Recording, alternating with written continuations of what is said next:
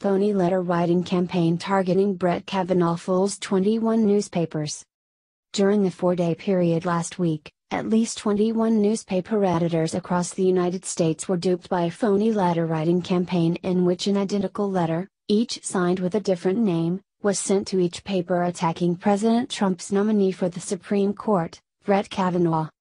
The letter stated Brett Kavanaugh is the wrong choice to replace Justice Anthony Kennedy on the Supreme Court. If he is confirmed to the Supreme Court, everything that we hold dear as a nation will be at stake. From protecting a woman's right to choose to dismantling the Affordable Care Act, Judge Kavanaugh could be the swing vote that takes away a right. His lifetime appointment would also mean he could also cement the Citizens United decision for decades giving corporate special interests and mega donors with extreme agendas even more influence in our democracy. It's time to take the for sale sign off our democracy.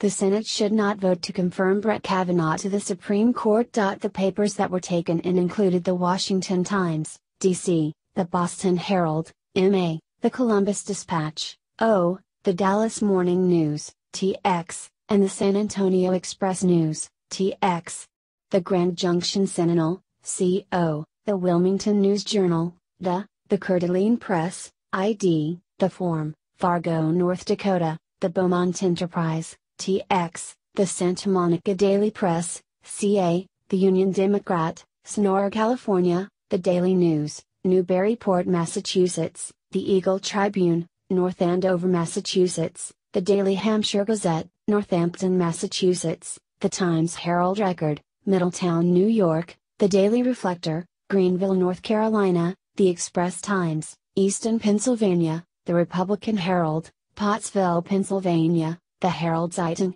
Brownsville, Texas, and the Martinsville Bulletin, VA.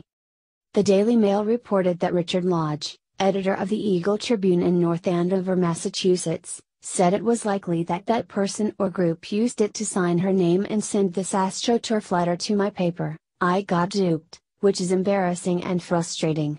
The Daily Mail added. The conservative Liberty Headlines blog first took note of the duplicate letters targeting Kavanaugh. Quin Hillyer, a contributing editor at National Review Online who spotted the trend, told DailyMail.com that the rather transparent astroturfing shows that the leftist intensity against Kavanaugh is not naturally widespread, but in